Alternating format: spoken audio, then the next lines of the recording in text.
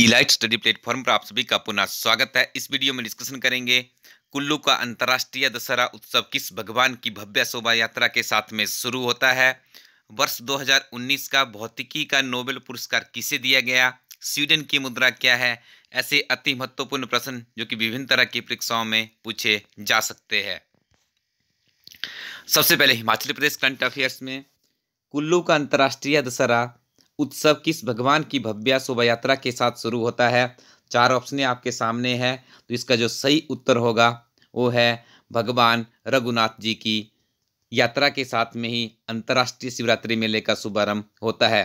और आपको बता दें, इस मेले का जो शुभारंभ किया गया, वो राज्यपाल भंडारू दत्तात्रेय जी के द्वारा किया गया और इसका जो समापन होगा, वो माननीय मुख्यमंत्री जयराम ठाकुर जी के द्वारा किया जाएगा।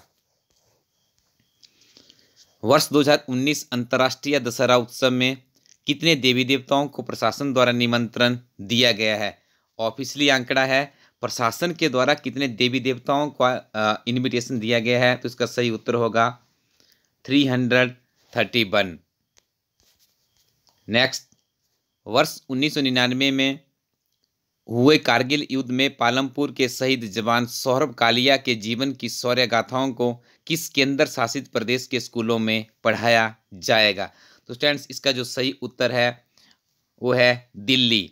दिल्ली में आम आदमी पार्टी की सरकार है जिनका दल है आम आदमी पार्टी। आपके नाम से भी जाना जाता है, झाड़ू जिसका चुनाव चिन्ह है।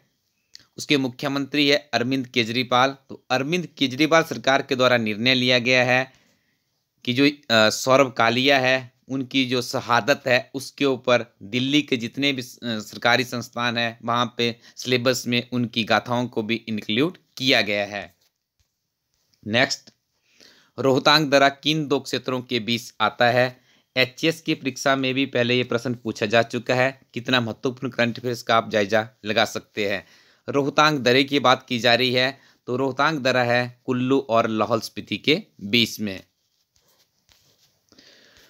स्टूडेंट्स यदि आप हिमाचल प्रदेश की किसी परीक्षा की तैयारी कर रहे हैं तो आप हमारी टीम के द्वारा अति उत्कृष्ट अध्ययन सामग्री से लेस करंट अफेयर्स तैयार किए गए हैं।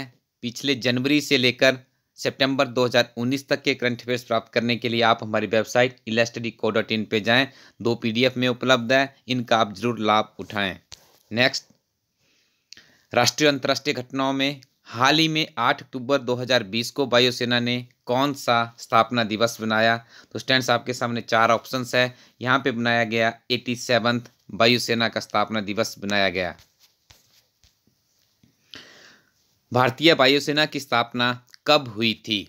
ऑप्शन आपने पढ़ ली होगी। इसका सही उत्तर है आठ अक्टूबर 1932 ठीक है, इसको आपने अच्छे से याद कर लेना है।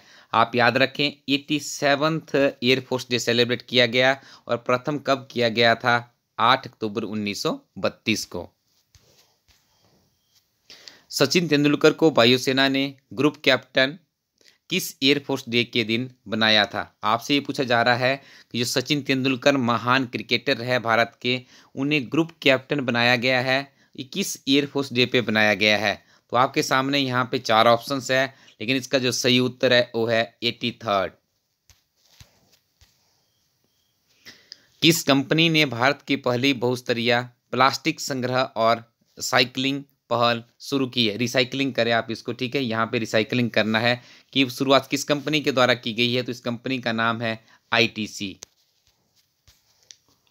राष्ट्रीय स्वयंसेवक संघ का मुख्यालय कहाँ पर है? आपसे पूछा जा रहा है कि आरएसएस का हेड ऑफ़िस कहाँ पे है हेडक्वार्टर कहाँ पे है? तो आपके सामने चार ऑप्शंस है। नागपुर, महाराष्ट्र, जयपुर, राजस्थान, मनाली, हिमाचल प्रदेश, गांधीनगर, गुजरात। देखिए, ये ऑप्शन तो बहुत और लग रही है, ये भी और लग रही है। जो आपको कन्फ्यूज़न हो सकती है, दो ऑप्शनों में हो सकती है। लेकिन इसका जो सही उत्तर है, वो सही उत्तर है नागपुर, महाराष्ट्र। विजयदशमी के शुभ अवसर पर इनका एक पथ प्रदर्शन किया जाता है। तो कल ये पूरे भारत में इनका पथ प्रदर्शन किया गया। ठीक है, आपने इसको याद रखना है और इसके प्रमुख है मोहन भागवत। देश की पहली निजी ट्रेन तेज कहाँ पर संचालित होगी? थोड़ा सा पुराना करंट अफेयर है, लेकिन प्रश्न बहुत ही महत्वपूर्ण है। देश की पहली निजी ट्रेन है तेज। ये कहाँ पे संचालित होगी, ये आपसे पूछा जा रहा है। तो इसका सही उत्तर है दिल्ली से कटड़ा। और इसकी इनेगोरेशन की गई थी यूपी के सीएम आदित्य योगीनाथ जी के द्वारा ये भी आपने याद रखना है।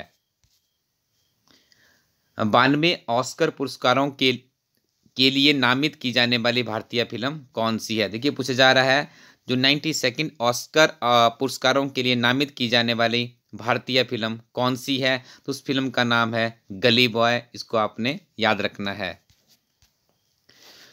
कुछ ऐसे फैक्ट्स स्टूडेंट्स यहाँ पे डिस्कस करेंगे, जो कि आपको बहुत ही महत्वपूर्ण है। यहाँ पे हम लोग बात करेंगे, राफेल आजकल काफ़ी सुर्खियों में है। सुर्खियों में रहने का कारण क्या है? क्योंकि फ्रांस के द्वारा उसका पहला राफेल भारत को सौंप दिया गया है। तो बात करें, विजयदशमी का त्यौहार बनाया गया। तो भारतीय वायुसेना की स्थापना दिवस कब मनाया जाता है? आठ अक्टूबर को मनाया जाता है। उन्नीस सौ बत्तीस में प्रथम मनाया गया था। एटी इस बार दो हज़ार उन्नीस में सेलिब्रेट किया। ये आपके दिमाग में पहले से होना चाहिए। तो यहाँ पे बताया जा रहा है कि विजयदशमी और भारतीय वायुसेना के स्थापना दिवस के दिन भारत को राफेल जैसा लड़ाकू विमान भारतीय वायुसेना में शामिल हो गया है। रक्षा मंत्री राजनाथ सिंह की मौजूदगी में फ्रांसीसी शहर है, इसका नाम आपने याद रखना है। बॉडोक्स हेडोपर सेरेमनी में फ्रांस ने भारत को राफेल विमान सौंपा है।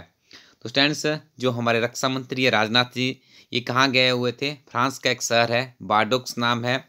उसके हेडओवर सेरेमनी एक आयोजन किया गया। वहाँ पे जो राफेल है, जिसका सौदा भारत के साथ में फ्रांस के साथ हुआ है, ठीक है? तो भारत को पहला राफेल विमान दिया गया। अगला महत्वपूर्ण प्रश्न है, इस चीज़ को आपने याद रखना है यहाँ से। जो राफेल का नाम वायुसेना प्रमुख, आजकल भारत भारतीय वायुसेना के प्रमुख कौन है? राकेश कुमार भदौरिया है, ठीक है? जो राफेल का नामकरण किया गया भारत में, वो किया गया है R B A R B zero zero one, ठीक है? ये किसके नाम पे किया गया है? ये किया गया है राकेश भदौरिया के नाम पर। भारत और फ्रांस के बीच तेईस सितंबर 2016 को छत्तीस राफेल विमानों को लेकर करार हुआ था, इसको आपने याद रखना है। ठीक है, राफेल के निर्माण वाले वाली कंपनी का नाम क्या है? उस कंपनी का नाम है द साल्ट एविएशन ये भी आपके दिमाग में होना चाहिए। और देखिए, कितने करोड़ की ये डील है तो यहाँ पे बताया जा रहा है, फिफ्टी नाइन थाउज़ेंड करोड़ रुपए की डील की गई है, जिसका भारत में बहुत ज़्यादा विरोध किया गया था कांग्रेस के द्वारा। तो यहाँ पे आप देख रहे हैं द सॉल्ट एविएशन कंपनी ने पहला राफेल भारत को दे दिया है। थर्टी सिक्स की डील हुई है। कब हुई थी? दो हज़ार सोलह में हुई थी। थर्टी फाइव भारत को मिलने अभी पेंडिंग है, जिसके ऊपर कंपनी द साल्ट एविएशन का कहना है कि शीघ्र ही हम भारत को ये चीज़ें सारी उपलब्ध करवा देंगे। एक बहुत ही महत्वपूर्ण चीज़ आपने यहाँ से याद रखनी है।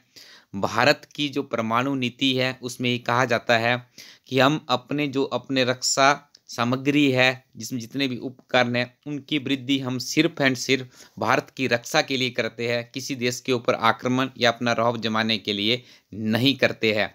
ये प्रश्न स्टूडेंट्स एच के लिए मेन परीक्षा में, जो अगली परीक्षा होगी आपकी ट्वेंटी ट्वेंटी में, उसके लिए बहुत ही महत्वपूर्ण है। देखना मेन में आप प्रश्न आपको कहीं ना कहीं देखने को ज़रूर मिलेगा। अब बात करेंगे नोबेल पुरस्कार के बारे में। वर्ष 2019 भौतिकी का नोबेल पुरस्कार दिया गया। स्टूडेंट्स पिछले कर हमने चिकित्सा का नोबेल पुरस्कार पढ़ा था, वो भी तीन लोगों को दिया गया था। भौतिकी का नोबेल पुरस्कार भी तीन लोगों को दिया गया है। जब ये सारे नोबेल पुरस्कार मिल जाएँगे, लास्ट में आपको कुछ ट्रिक्स बताए जाएँगे, कितने लोगों को तीन तीन मिला है, उनको रिमेंबर रखने का तरीका क्या है। अब सिंपल आपने इनके नाम रिमेंबर करने की कोशिश करें, एक जर्नल वे में इस वीडियोस को देखते रहे। जब नोबेल पुरस्कार सारे के सारे डिक्लेयर हो जाएँगे कुछ ही दिनों में तो आपको एक अलग से वीडियो उपलब्ध करवाने की कोशिश की जाएगी, ताकि आपके दिमाग में अच्छे से बैठ जाए। लेकिन आज के वीडियो में बात करेंगे, भौतिकी के क्षेत्र में तीन लोगों को दिया गया। तीन लोगों के नाम है, James Peebles, Michel Mayor, Didier Queloz, ठीक है? देखिए जो सबसे पहले है, जेम्स पीबल्स, ये कनाडाई मूल के अमेरिकी अंतरिक्ष वैज्ञानिक है, जो अगले दो है, मेयर और क्यूलॉस, ये स्विट्जरलैंड के है, इतना आपने याद रखना है। कनाडियन अमेरिकन वैज्ञानिक जेम्स पीबल्स को भौतिक ब्रह्मांड विज्ञान में सैद्धांतिक खोज के लिए ये पुरस्कार जो नोबेल मिला है, इसकी खोज ब्रह्मांड विज्ञान के सैद्धांतिक खोज के लिए दिया गया है, ठीक है? और जो स्विस वैज्ञानिक है, मिशेल मेयर और क्लूलास, इन्हें संयुक्त रूप से एक्सो प्लेनेट की खोज के लिए दिया गया है। ये दो चीज़ें बहुत ही इंपॉर्टेंट है, ये आपने अच्छे से याद रखनी है। और अलाइड की सर्विस वर्ष का अलाइड का पेपर तो अभी होने वाला है, नेक्स्ट ईयर कोई परीक्षा होगी। तो स्टूडेंट्स, एक प्रश्न नोबेल से ज़रूर पूछा जाता है और ये प्रश्न बहुत इंपॉर्टेंट है।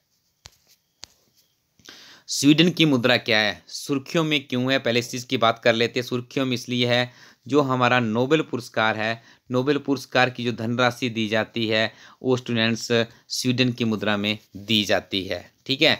तो यहाँ पे हमें पता होना चाहिए कि स्वीडन की मुद्रा का नाम क्या है। डॉलर, रुपए, करोना या टक्का तो सही उत्तर है इसका। करोना तो आप याद रखें, जो नोबेल पुरस्कार के विजेता, जो धनराशि उन्हें दी जाएगी, वो किसमें दी जाएगी? करोना करेंसी में दी जाएगी, क्योंकि करोना करेंसी है स्वीडन की।